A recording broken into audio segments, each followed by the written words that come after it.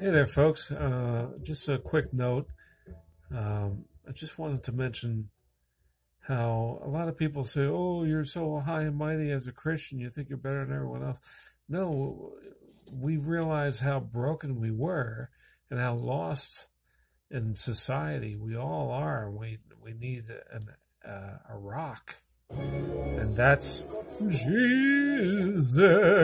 Because I have demons in me, as you're noticing. This is one from my uh, that I suffer uh, as a painting of mine in acrylics.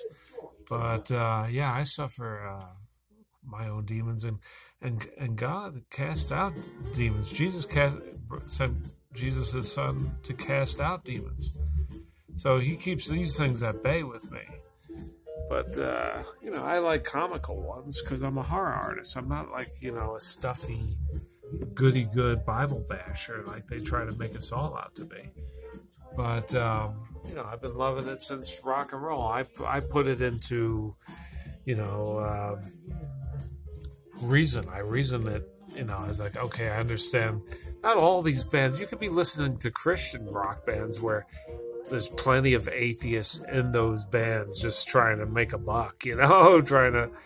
Uh, or some just change, you know but uh, I seem to have lost the uh, the attack because God's like, stop playing that, showing them that demon shit. But uh, what can I show you?